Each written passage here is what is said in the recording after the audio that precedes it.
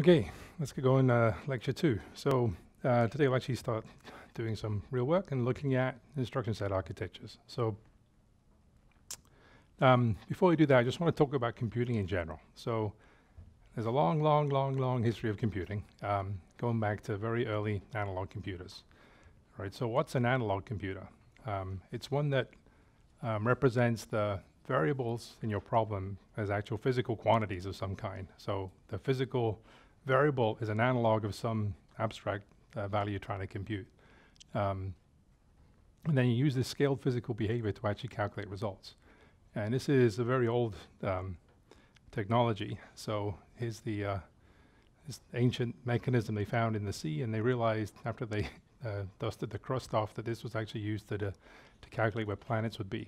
Right. So this is a very, you know, it's a machine. It's not actually the planets. It's an analog of how planets move around set of gears that you would rotate around and find where things were to help in navigation, right?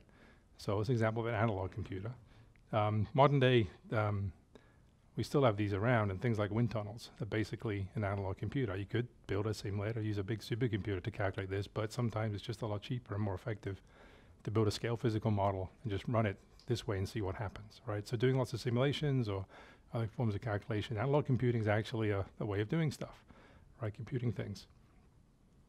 Um, but digital computers, on the other hand, you actually take the problem variables and you represent them as discrete numbers, you know, digitally, right? So finite values. Whereas in the analog computing world, you know, the physical, the arbitrary precision possibly in a physical space. Here you discrete things down, make them discrete. And the big advantage of making them discrete like this is you get uh, immunity to noise. So you can calculate things exactly to the limited precision you're using, right? So noise doesn't propagate through the calculation. Any kind of analog style computing, you're going to have noise issues, uh, it could be imprecision, errors accumulating, because your analog is not a perfect representation of the thing you're modeling, right? Digitally, if you can, as soon as you quantize it into some digital form, thereafter you can, uh, you know, compute things to arbitrary precision. And what's important is when you do the same thing twice, you get the same result, right? So you can get deterministic, repeatable uh, computations. Another huge advantage is you're not constrained by physically realizable functions. Right? With analog computing, you've got to figure out how to build an analog of the compute computation you want to do. And that's in general not possible for all the things we can compute digitally. Right? So, so with digital systems, you can you know, compute arbitrary things, anything that's computable. Um, and that's what we're focusing on in this class. And the history of programmable digital computers goes back quite a way. So Babbage is really the, the father of computing. Um, and he's an interesting character. Um, he was uh, um, he actually held the Lucasian Professor Chair at uh, Cambridge, the Professor of Mathematics at Cambridge University, um, and he was interested in many, many, many things. And this Lucasian chair is a pretty famous chair. It was previously held by uh, Isaac Newton, and then later it was held by Stephen Hawking, um, amongst other people. So it's a pretty uh, prestigious chair. Um, he was interested in many things. He was a professor in Cambridge, but he apparently never gave a single lecture. He just did research, government-funded research. Um, he was interested in many things. Um, and one of the, his big frustrations, though, was at the time um, to evaluate um, uh, evaluate numerical problems, you would use uh, printed tables. So basically, people would go away, calculate values, and put tables of things like logarithms, sines, cosines. All those functions you wouldn't actually calculate by hand. You'd have a lookup table that would be printed. Uh, the problem was these were done by hand, and then the typeset and the resulting tables often had errors in. So you do some computation, look it up in the table, and the number in the table will be wrong, and your computation would, wouldn't work out as a result.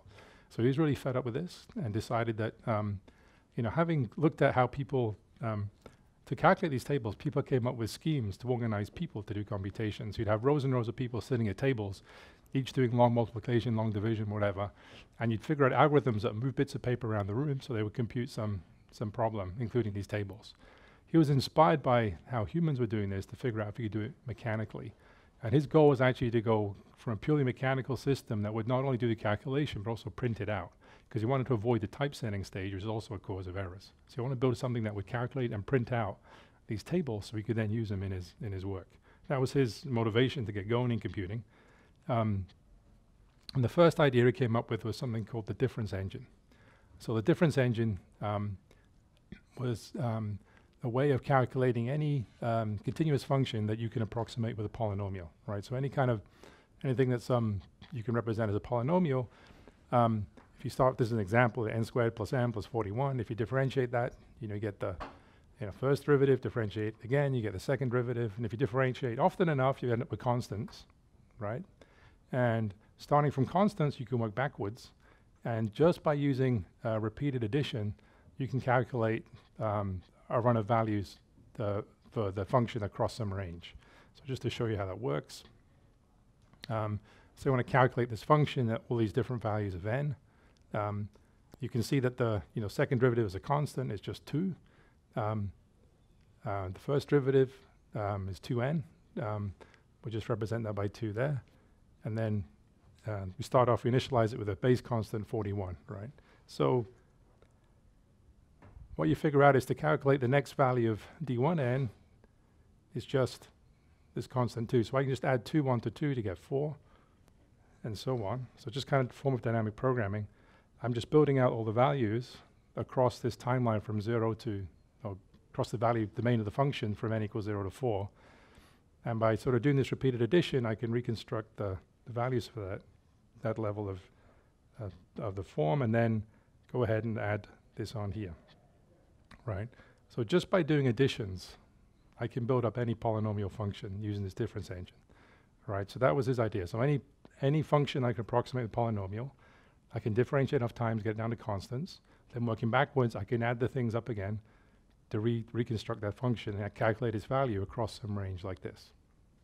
So basically just need to build a machine that could hold the different constants and add them in a certain pattern to produce these, these values. That was the idea behind the difference engine. So, um, so he had this idea, he wrote papers on it, but he didn't actually finish the design and implementation of this because he'd sort of moved on to bigger things, which was the analytical engine. But uh, a bunch of years later, um, a fellow in, uh, I think, Sweden and his son, they actually took those ideas and actually built a working version. Um, this was in the 1855, and they actually sold a copy to the British government. And the application for this was really um, um, artillery tables. So when you are, you know, uh, firing a gun, you need to know how much charge you put in with given angle of the uh, gun and a given distance you're trying to shoot and the wind speed and all these things. And they'd feed that into these tables to figure out how much charge to put in, how much gunpowder to put in the gun. That was kind of the application. Um, so these guys sold a copy to the British government. And actually, uh, more recently, sort of recent times, people have actually taken those plans and show that you can actually recreate that system using the technology available at the time. So with the machining tolerances and everything, they could show you could actually build this difference engine, and Scheutz apparently did.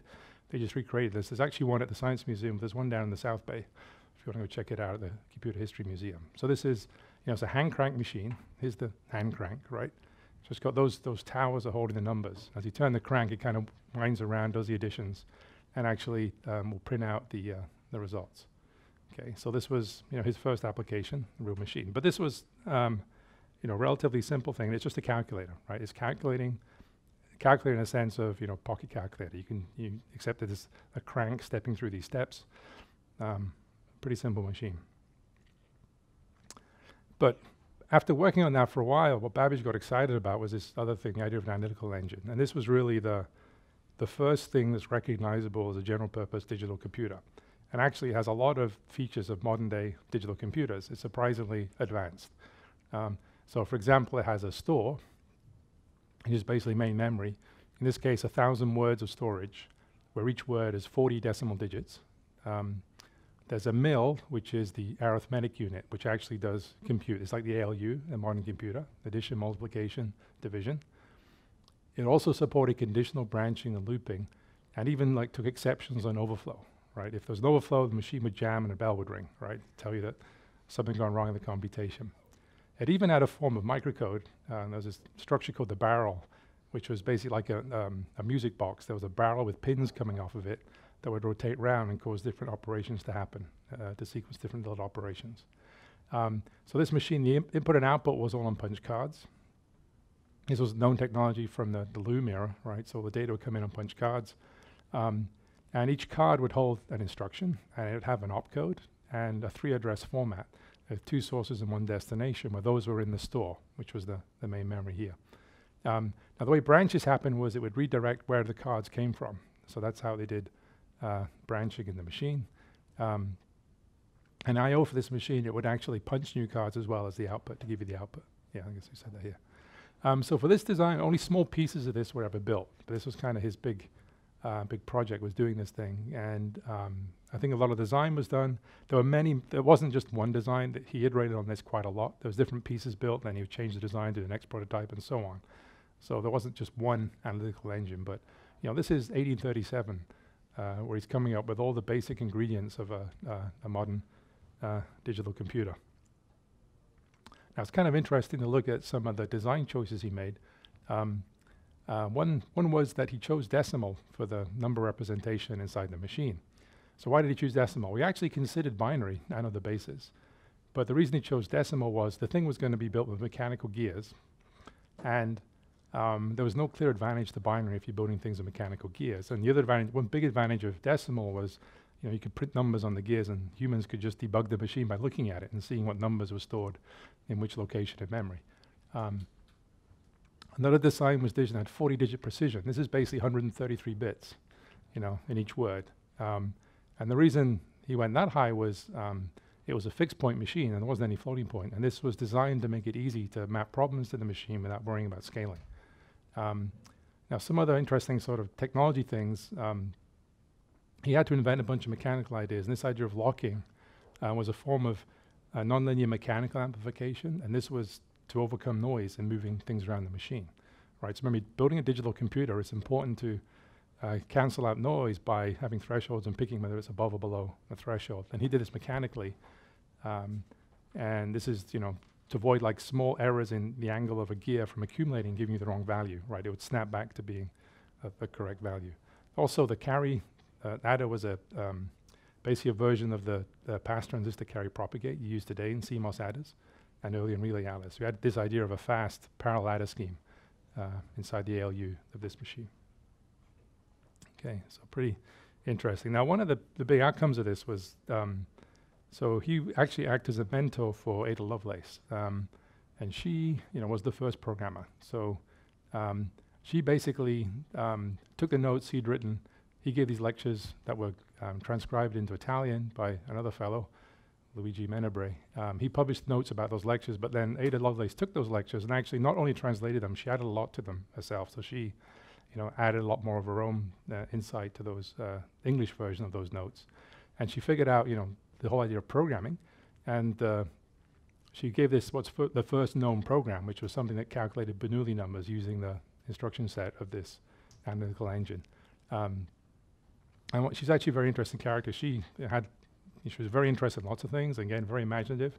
And she was, you know, imagined many uses beyond the calculations of tables. So table calculation was like the, the premier application of computers at the time. The way to think about it, it took a long time to run a computation, all these mechanical computers. So you wanted to capture that and store it in the form of a table. So then everybody else could use that result in the form of a captured table. And that was the sort of mindset at the time. But she was interested in things like how you would use this computer to model the brain, for example. She, back in those days, she was even thinking about things like that. So quite an impressive uh, character, and really the first programmer. Okay, so that's kind of the prehistory of um, uh, computing. Um, and that was the mid 1800s. And really, not much happened after that, um, kind of a dark time um, in computing. Um, in the beginning of the 20th century, um, there was a lot of interest in analog computing because it was feasible to build machines that could do a reasonable amount of compute using analog components. Like digital tends to be more expensive in components, right? Whereas analog, you have the you know, luxury of mapping things one to one from a physical variable in the thing you're modeling to a physical part of the machine, right? Um, and so it's a lot of development of uh, analog computing in the, the, first part of the 20th century. Um, but during the 30s and 40s, as um, you know, relays got better and uh, tubes appeared, people started building programmable digital calculators. And I'll make a distinction here. These are calculators in that they, they can't really do arbitrary compute. They can only do things like straight line runs of code um, and simple loops. They, they, they cannot branch in any conditionally branch in any meaningful way, right? So they're really just calculators. And there was a bunch of these that were built, and um, these really accelerated, you know, primarily driven by the Second World War. And like the war effort really advanced computing technology a lot. Um, but these were the, you know, so some, you know, primo examples of the uh, digital calculators at the time.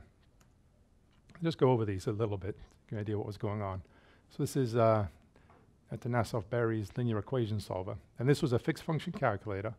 and it could solve up to 29 simultaneous linear equations. So it's a dedicated, you can think of it as a specialized engine for doing this one task, solving simultaneous linear equations. The interesting features of this was it did use digital binary arithmetic um, with 50-bit um, words.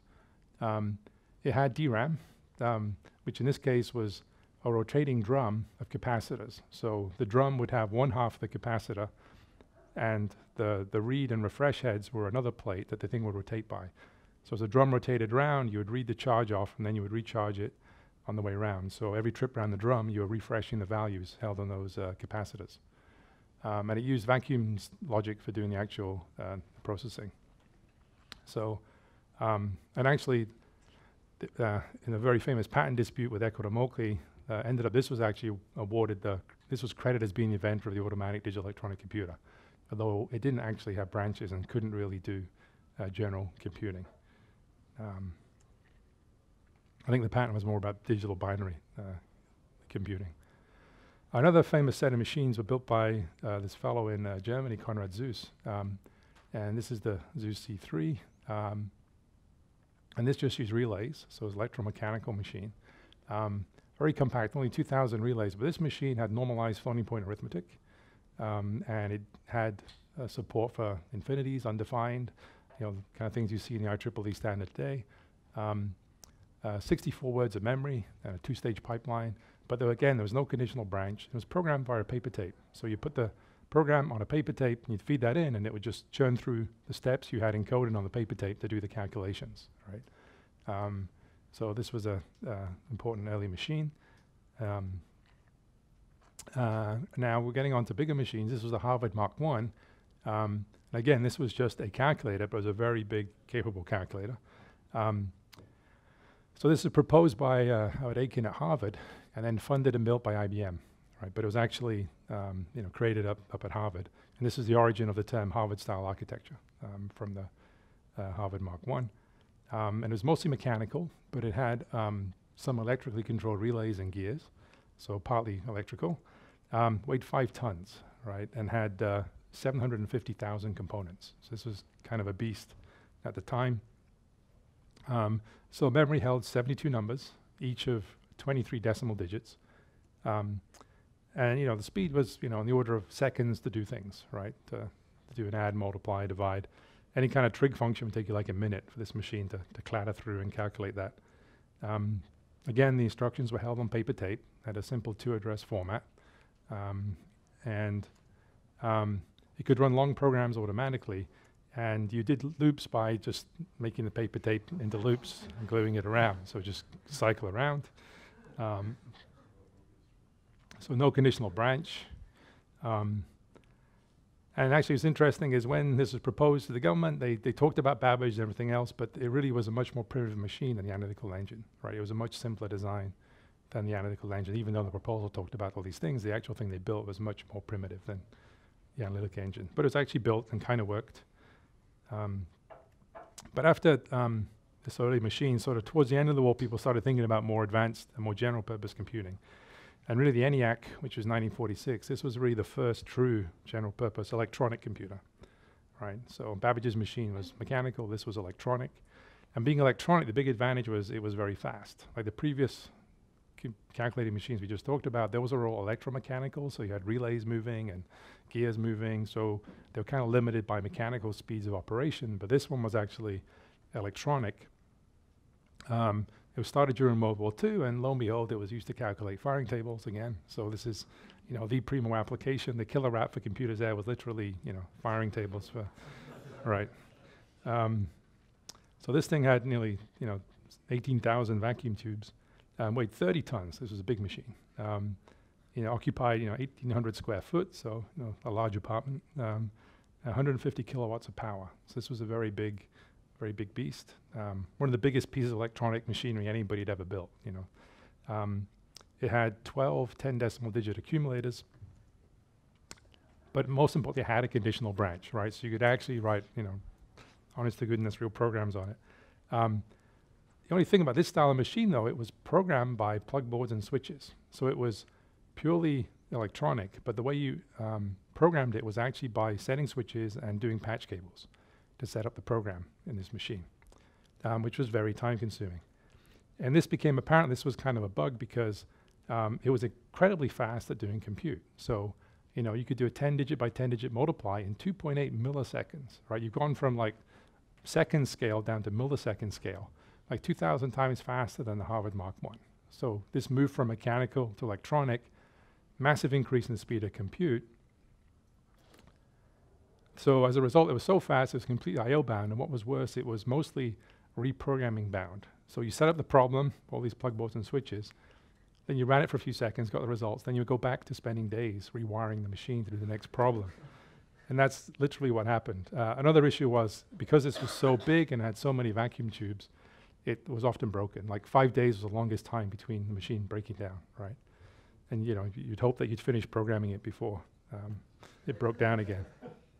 So this was a big beast. This is a picture of it. And so what you can see is all these switches. That's how you inserted numbers and all those patch cables. So this is how you program the machine. You'd walk around, set the switches, plug in the cables to set up your program and hope you got it correct. Like debugging is mainly going around and did I plug the right cable in, right? Did I set the switch to the right value? So, you know, it would literally take days to change the program on this thing. But then it was electronic, so it would run really fast. Like in seconds, you'd finish most compute computations you'd want to do on this machine, right? Um, so based on that experience, um, Eckert and Mauchly thought, okay, we always have to do something different. So they came up with the idea of EDVAC. Um, and this is where they came up with the idea of a stored program concept. So the idea of a stored program is instead of having the program represented physically by switches and cables, I represent the program as bits stored in memory, right? And so then I can easily reprogram just by loading different bit patterns into the, the memory of the machine instead of physically changing the machine with cables and switches. Um, and von Neumann enters the, the plot at this point. Um, he was consulting at UPenn when they were working on this stuff. And he actually wrote up all these ideas. And this was the, the first draft of a report. And EDVAC was his famous uh, uh, technical report he, he typed up. Now what happened next was kind of uh, amusing. So, um, so an admin level guy at UPenn um, got this draft, and as with any tech report, was going to circulate it widely. So we did. So you know the way they published them, they would actually just ship this off to various other institutions. So they had this tech report. Um, von Neumann only had his name on the report, um, and this guy circulated to lots of other institutions, and everybody got really excited about this idea of a stored program computer.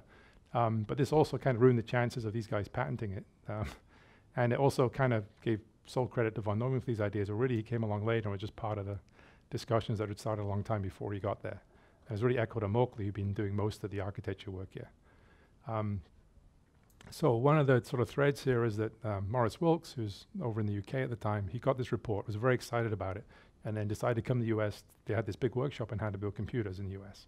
Um, so uh, he came over, and then he was uh, invented a lot of things. I'll talk about in a minute. So, so based on the experience with ENIAC, they came up with this idea of stored program computer they're going to implement in EDVAC. They didn't get around to doing EDVAC for a, a while. Um, but what they actually did was, um, a little bit later on, they went back and modified ENIAC to make it a stored program machine. They took that big beast with all the cables and switches, and um, they allowed it to run in stored program mode, but it was six times slower than when it was hardwired, right? So there was a performance hit for uh, making it use a stored program mode. But this was still overall a massive win because you know now you could reprogram it much more quickly and, and reasonably, right? Um, okay. Yeah, and EDVAC, they finally got built and mostly working, but a lot later on. And this was delayed by all these patent disputes and stuff going on around this um, computing technology. Meantime, inspired by all this, this tech report and this, this workshop in the US, a few groups in the UK um, actually built the first stored program computers. Um, and ac actually, the first one was this tiny one, which is a very small scale computer. Um, guys at Manchester University built. And th they really built this computer just to demonstrate their storage technology. So what they come up with is what's called a Williams tube, a Williams Kilburn tube. And this was a CRT, like a cathode ray tube. And the way this stored data was actually in the phosphor on the screen. So the idea was, you know, like in an old style TV or old style CRT, the electron beam hits the phosphor, um, captures energy, lights up, and it decays slowly over time, emitting light. Um, but they could detect that that charge was stored there with another beam reading it, and then they could refresh and write it back. So it was a dynamic memory that relied on the phosphor to store the, the charge with this beam scanning over it repeatedly, right? And this gave them a, a re- relatively rapid random access electron- electronic storage device. This is really one of the first um, sort of main memory, random access main memory um, technologies. So in order to prove this thing, prove out this design of this tube, they built a very tiny computer. Um, uh, what was it called? It was called the uh, the Mini or something. Uh, the Baby, yeah, the Baby, Manchester Baby. Um, and this ran, you know, supposedly the first store program in June 1948. Um, but it wasn't really a full-scale machine. It was just like only had 32 words of memory or something. It was it was a very tiny, even for that time, it was a tiny little machine. But it you know did run the first store program by some measure. Um, later on, they led to the the Manchester Mark I, which was a, a much bigger full-scale machine. This was actually a pretty important machine. It led to introduce the concept of index registers and was commercialized by Ferranti. Right? It's a picture of the Williams tube. But the big the first big scale real computer was EDSAC, stored program computer was EDSAC. Um, and this was Maurice Wilkes, later Sir Maurice Wilkes. He went to the uh, US, went to this workshop, came back to Cambridge, and decided they were going to have a project to build the, the first stored program computer. Um, and so this used um, mercury delay line storage to hold its main memory. So a mercury delay line is basically a long uh, tube of mercury um, where at one end you have a basically a small transducer like a loudspeaker, and at the other end you have something like a microphone. And the idea is you loudspeak, loudspeak, loudspeaker injects pulses into the mercury, causing little bumps and ripples on the mercury, that then transmit down the, the line to the other end where they're received, and you detect them with the speaker-like, uh, microphone-like assembly, and then you amplify and send it back in again. So you have this pattern of pulses going down this mercury delay line, and that's your main store. Okay, so it's basically a serial access memory. You have to wait for the bits to come around again before you can pull them out of the main memory. But that was a common early main memory technology. Um, so this had you know 1024 words of 17 bits, um, plus there's one bit of padding in the delay line to separate the words from each other and to give you some framing start symbols. Um, the machine used two's complement binary arithmetic. It was an accumulator-based ISA, and they actually used self-modifying code for indexing, which you're going to see in the problem set uh, how, how that works. Um, so one interesting thing with this machine, now the machine started getting a bit bigger, the idea of store programs, people realized they're going to have to do things like subroutines, right? So, okay, now you're going to have commonly reused libraries of code. And actually, um, David Wheeler, um, who, world, who also has the distinction of earning the world's first computer science PhD, um, he invented the subroutine, right? He basically, a thing called the Wheeler jump was how you did a subroutine call, right? So you got to put yourself back in this context. Prior to that, there was no need for a subroutine. Your code was just one routine that calculated the table, for example. You just hand wrote the whole thing. Now machines got a bit more complex. People thought about reusing code and packaging them into subroutines. Um, so actually, I, I met David Wheeler when I was looking to do a PhD. So he was at Cambridge. I, I got to see him. Um, there was sort of several layers of people I had to get to before I got to talk to him. He's an unusual character. Um, but I remember what he told me back then was, you know, there's no research left in computer architecture. It's kind of all been done. I don't know why you want to do a PhD in computer architecture. Um, yeah, I think from his perspective, probably, yeah, you know, this, this scale of, you know, inventing the subroutine, everything was probably peanuts after that. So, um, yeah. Um, the, um, so actually what was interesting, the UK's first commercial computer was actually based on EDSAC and ran business software in 1951. So this is one of the very first commercial computers anywhere, uh, business computer. What's funny is the software for this was still running in the 1980s in emulation um, in the UK, so on some mainframes. Um, so EDSAC was the original design. EDSAC 2 was a follow-on, sort of much improved uh, design. And this, this was the first machine that had microprogram control. Based on the experience of building the control logic for EDSAC, uh, Maurice Wilkes came up with the idea of microcode that he used in uh, EDSAC 2. Um, so this is also kind of transition where computers started being manufactured commercially. So, you know, Second World War ended, you know, a lot of early computer design between sort of late 40s. Now in the early 50s, people started trying to commercialize this. So Eckert and Mauchly left UPenn and formed the Eckert Mauchly Computer Corporation. And um, first design was actually a two CPU machine. Um, it was a multiprocessor, but these were set up as master-slave checkers. They would check each other. And the thing was called BINAC.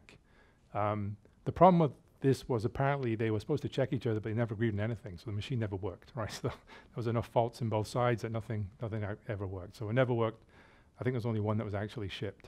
Um, based on this, they came up with a better idea, which was the second commercial computer, UNIVAC. Uh, This was, again, like the EDSAC, this used mercury delay line memory, 1,000 words or 12 characters.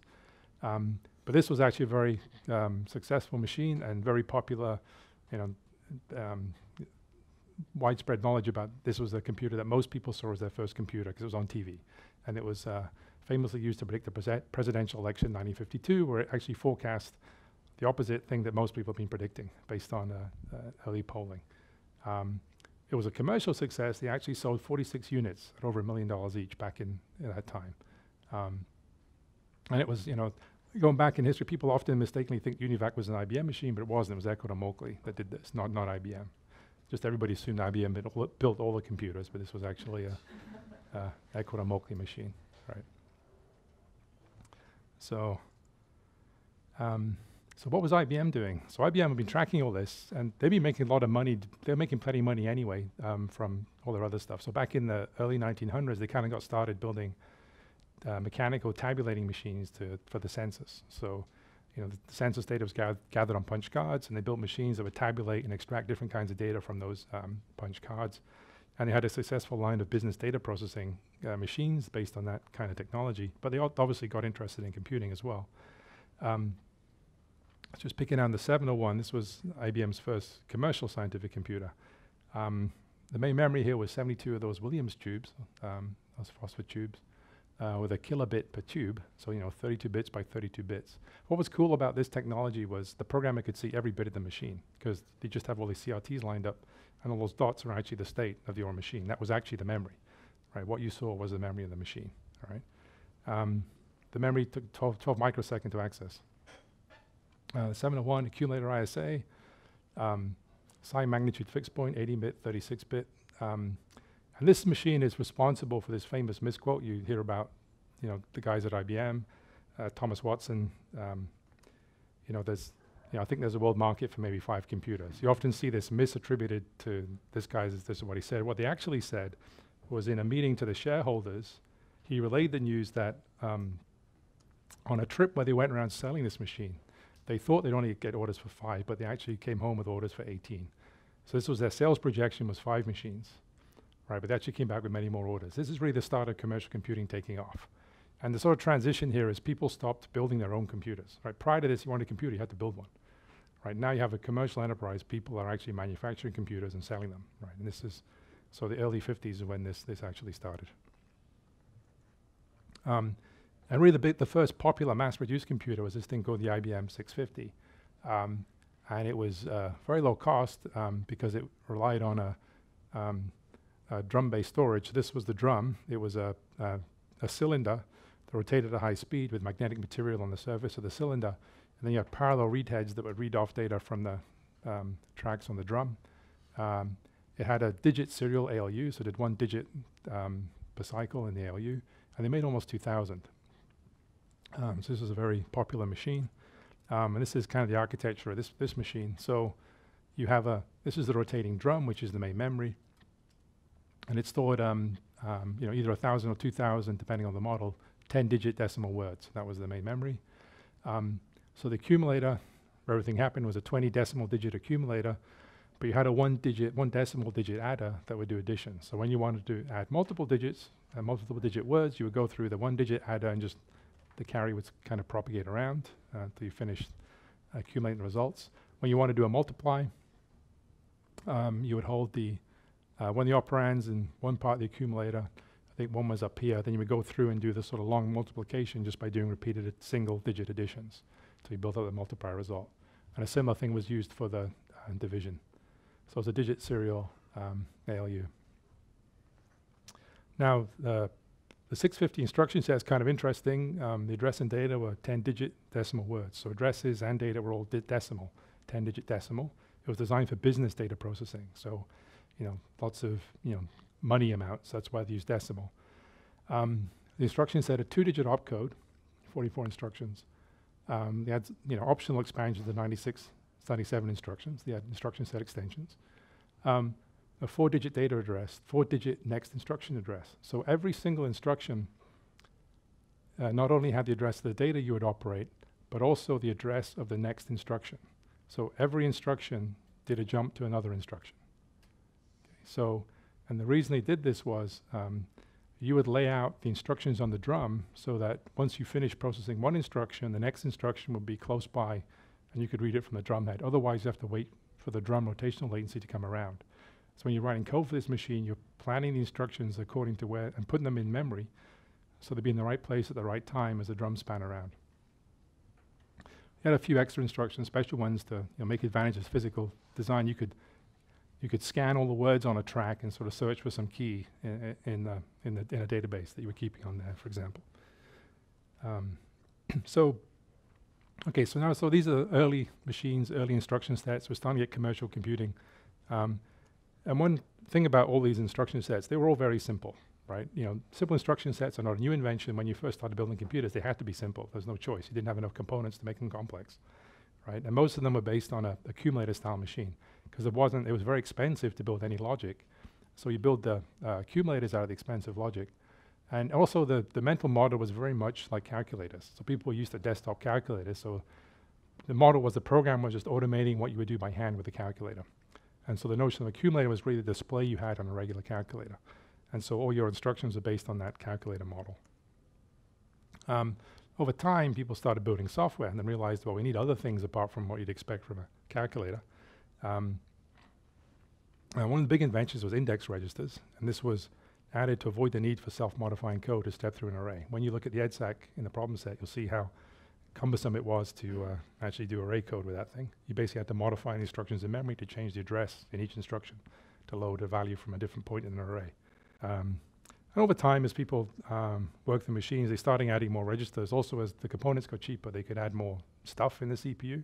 So they added more index registers.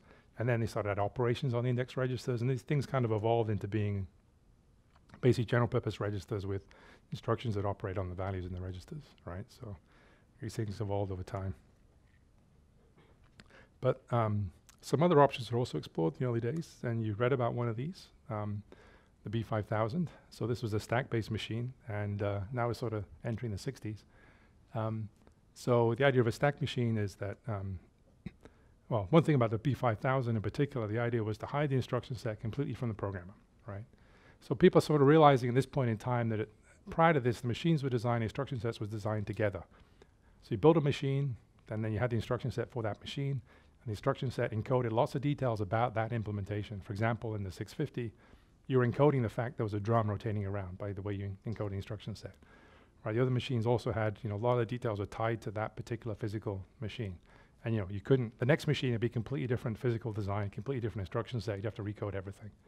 So now people realized that was a problem and they wanted to um, make code more portable between machines. And one idea is to do it at the language level. So, in the B5000, you wanted to hide from the programmer using a high-level language. So Algol was the, you know, high-level language that every all the uh, academics and key people in industry had agreed would be the you know fo formation foundation of all future high-level languages.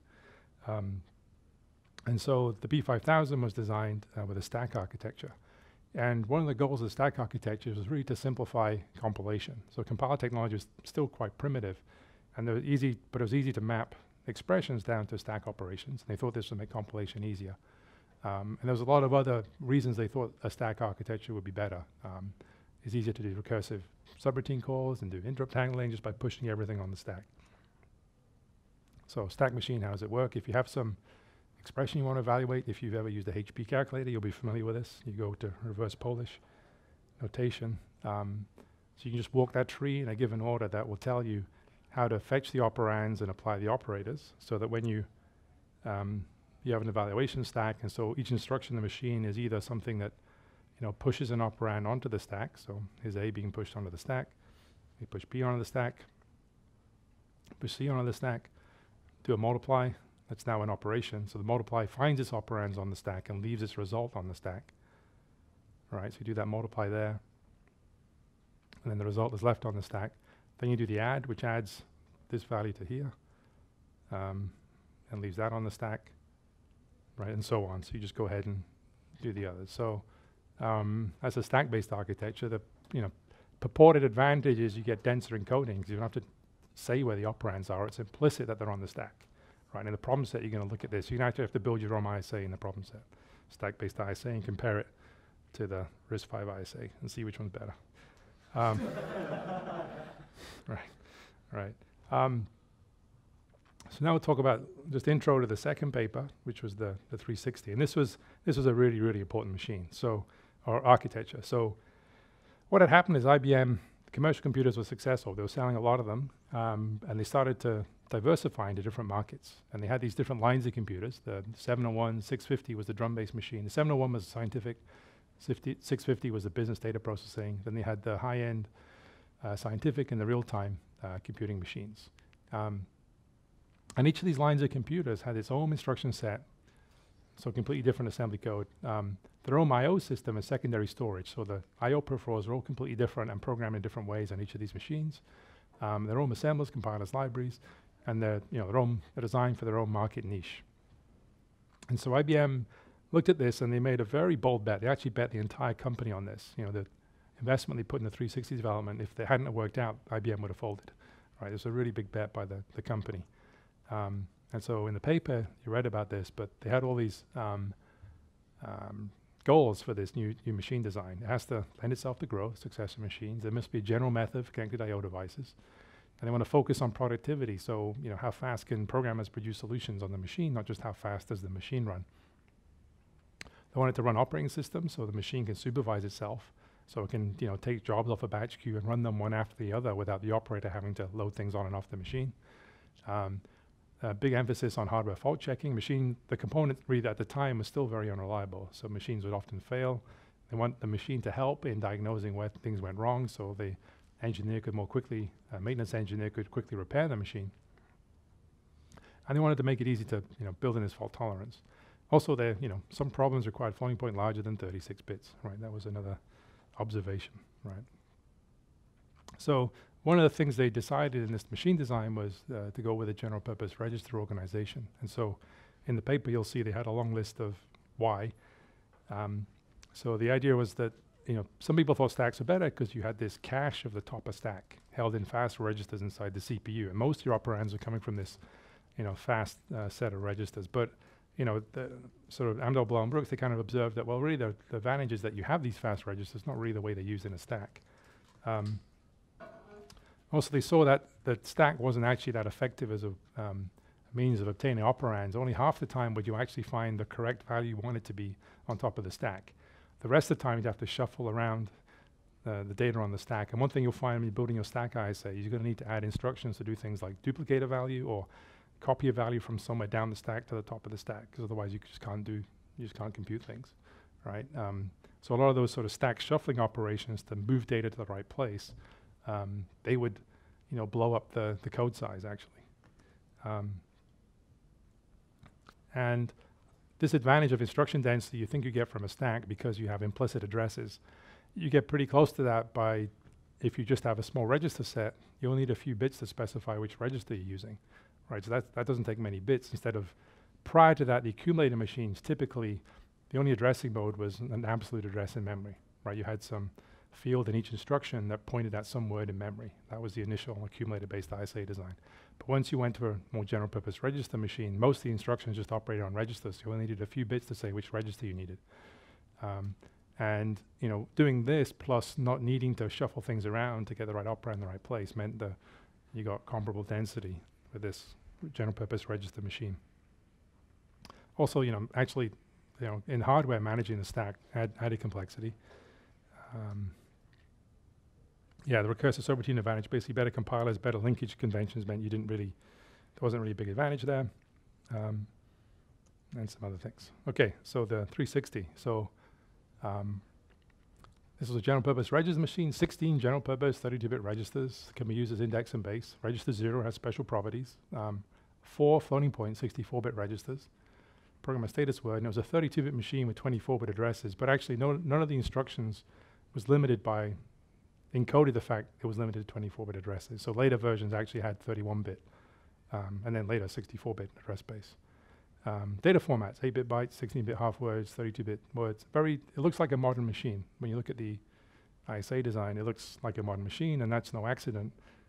The IBM 360 was such an important machine that it kind of set a lot of these design decisions for all following machines, right? So basically, bytes are 8 bits because of the 360, right? Um, That's why they're eight bits long today. And if you read the paper, going through the paper, you'll go over that, the discussions they had about this. So one of the big ideas they had was separating the instruction set architecture, the assembly code, from the machine implementation. And the motivation was to provide common software support for all these different um, application areas, from low-end machines to real-time machines to business machines to scientific machines. They wanted to have one ISA, um, so they would make common all the um, software support for all of them. And the idea was they could figure out how to build the implementations. Uh, a large part of the design goals was to make the ISA work well on all these different implementation styles, everything from low-end machines to high-end machines. So this was really the first true ISA designed as a portable machine um, software interface. That's why it's such a um, important, uh, important development, important platform. Okay, so yeah, the other thing is it still survives today. So this was a big success for IBM. It's still a big success for IBM. They make billions of dollars selling these machines. Um, they've advanced a lot. So the newer machines are uh, have a 64-bit address space. They run Linux. Um, they can run thousands of virtual machines on each mainframe. Um, so there's a lot of, lot of things happen to it. Basically, the core ISA is still the same uh, that was back in 1964. So very, uh, very important uh, class of machines.